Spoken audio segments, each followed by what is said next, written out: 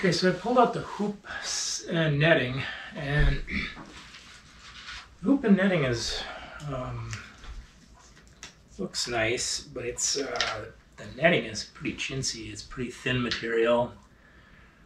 Really isn't going to provide a whole heck of a lot of protection, except for just little things striking that won't go through the prop. So it's pretty pretty chintzy material. I need some silicone spray. That's one thing I forgot to get is some silicone spray for uh, putting this thing on, uh, forcing this plastic over the titanium bars. But I can put the bars on um, right now. These are right here, little spars, and four hoop pieces. Uh, let's see if we can figure out how to put this on here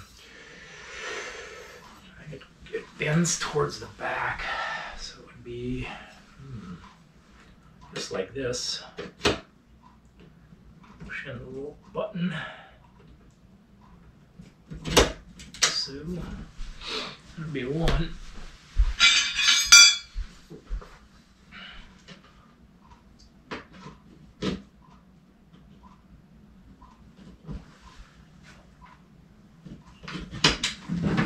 Two. These things go in order towards each other like that. Not one goes. Hmm.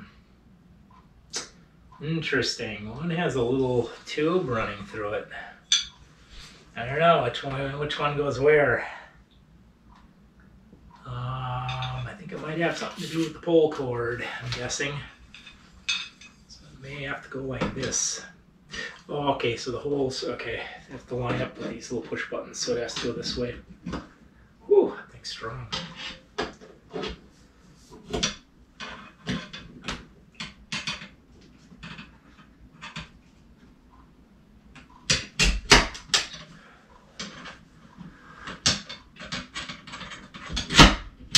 Go. We'll go together once the hoops are in place. I think all hoops are about the same, pretty much. Looks like there's no little little buttons. Just slides right into place.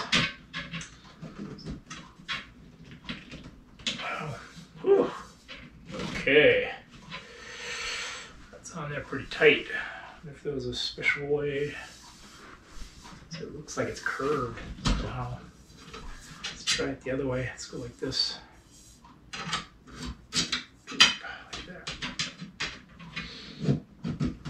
Seems a little better. One.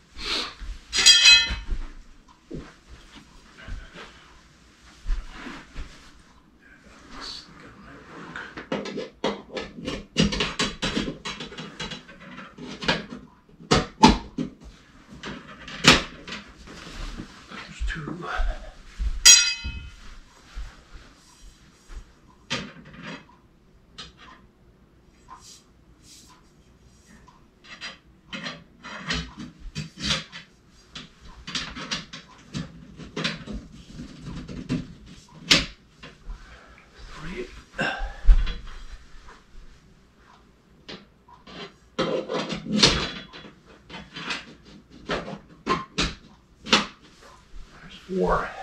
Pretty solid. The last thing, you pull this and put it in place like that. There's your hoop. Yeah. Not too bad so far for weight. Got the prop that has to go on. These things, how amazing these, how light these things are though. Man, it's like, it's like picking up styrofoam. Hmm. Crazy. All right, well, that's done. I'll come back later to put the the netting on. Gotta get some silicone spray over here. I know that helps. Okay, now that we have the metal hoop pieces on, we can put up the pull cord. Flip forward up. And you take this around. Take this little pin off, like so. Oops, whoa, Nelly. Stuff it through the hole. Put the end cap on the pin, and there it is. Got the pull cord in place. After that, we've got our netting. Need to put our netting on, and we need to help this out, this process, is silicone spray. Um, need spray it on there. I don't want to spray in the house, so I sprayed it on a little napkin like this. Pre-sprayed it on there. And you kind of rub it on this thing, on this, the bars. Get her nice and slippery, hopefully. That. I feel like much is on there. Uh, like so. And then, oops, so that's gonna go someplace bad. Once you got that in place, uh, to make sure the the netting, the side the netting is on, is towards the seat, not towards the propeller. Holes right in this side rather than this side. So you go this way. Um, so the netting on the inside. This I believe. So like that. You start at one point. It's supposed to be a little little dash right here. I see it. Take it. Pop that on. Like so. And you slowly push this thing on guess. Hmm. Wow. I want to damage it.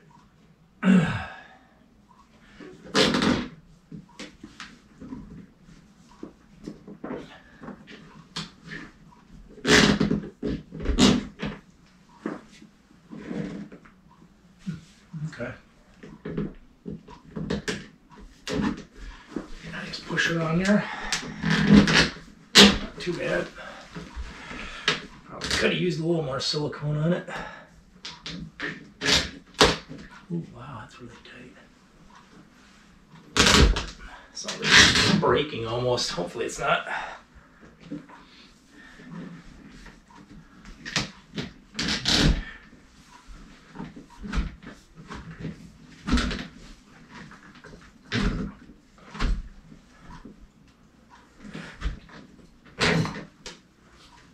This is getting all wound up here.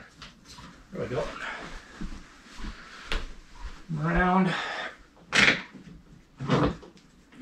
Push, push.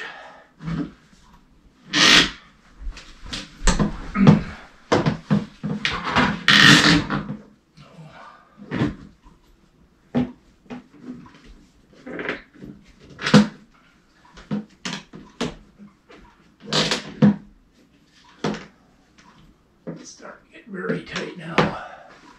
Not sure it's because of this.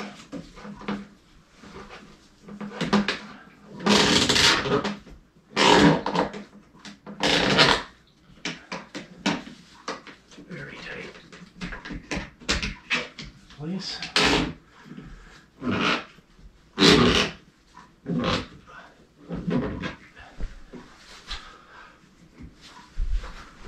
Hard to get a grip on it over here.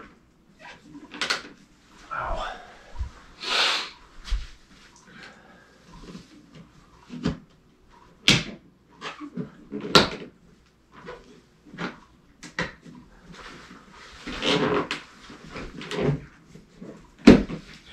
It's on. It's like so. So once the netting hoop is on, then you take this little cinch device. It seems to be. Hmm. it's supposed to go around this cord and onto this little peg here.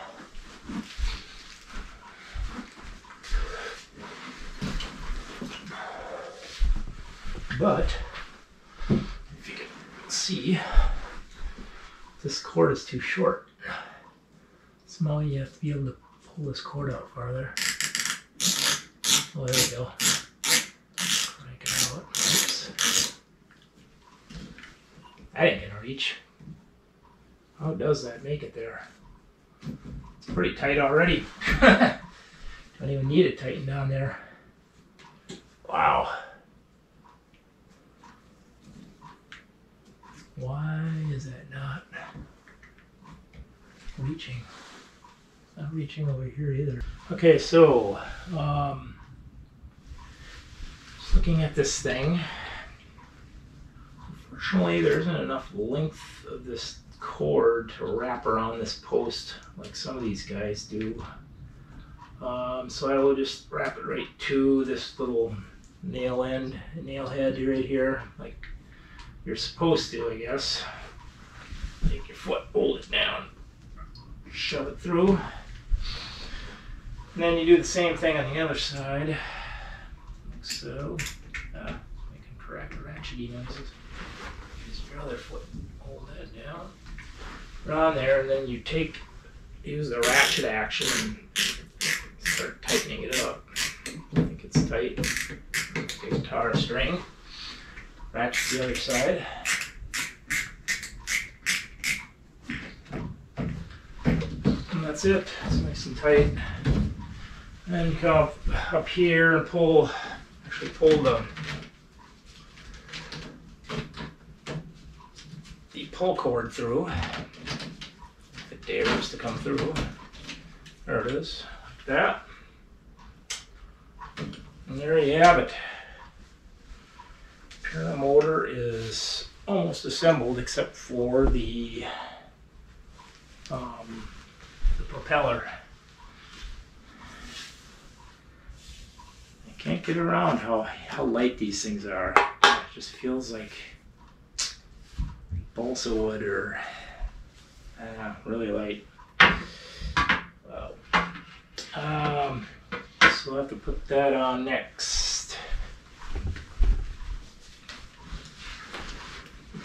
I think that requires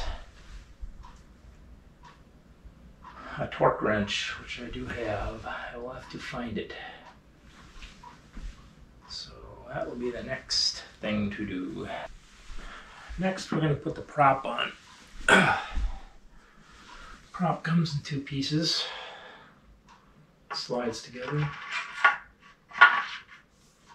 Parajet name sticks outward. Straight line up the holes. You have six bolts, you have two spacers. Um, the spacer it looks funny like this, has all the holes going inward. Sits right on there like that. So we'll take it out for now. There's a little rounded edge on here that sticks outward on this flatter one. The sharper part goes inward. You take the bolts, put the lock washer on first, then the flat washer. You run them through that. And then you run them through here, like this. Hold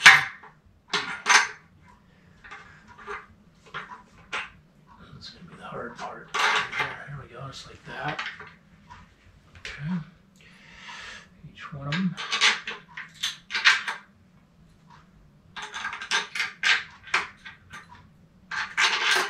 All six.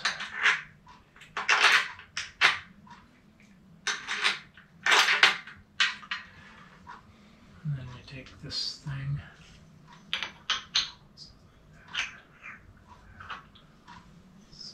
This thing through like so.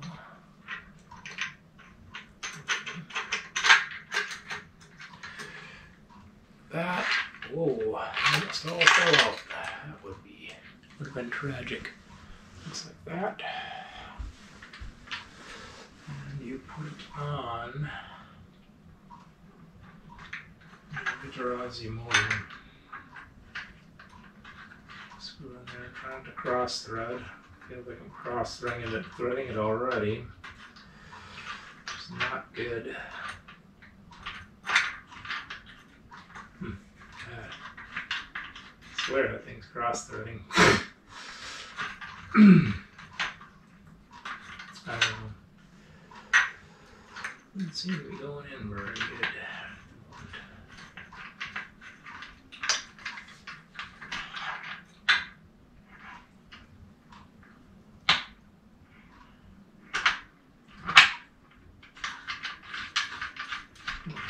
What's going on?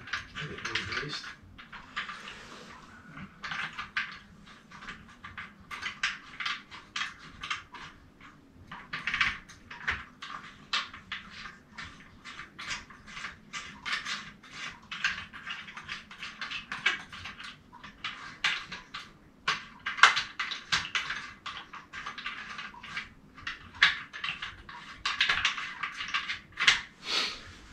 You have your five millimeter Allen wrench. Spin this thing on.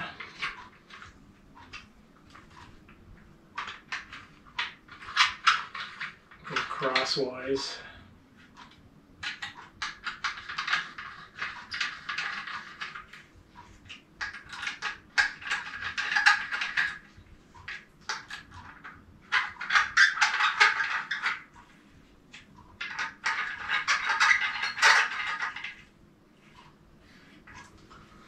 like it's on there.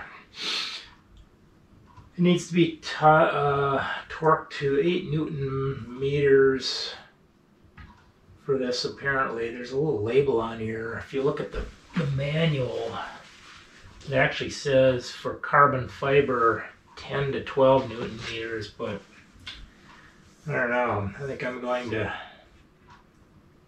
use this one instead, this little label. It says 8 newton meters. A little worried that the carbon fiber is going to get damaged if you crank it down too tight. So, like I said, I'm going to just do a minor tighten on this thing. I'm not going to tighten it down to torque specs.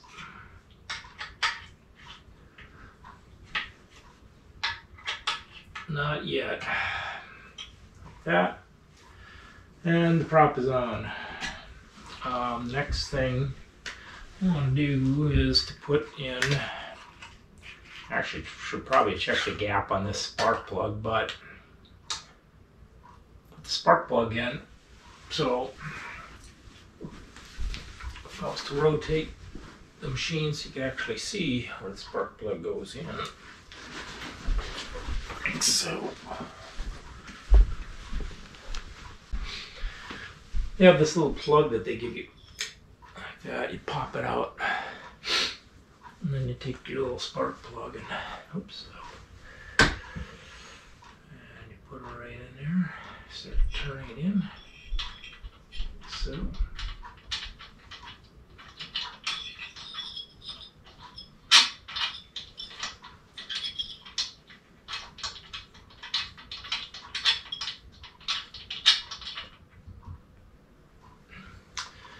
You have your little spark plug wrench here.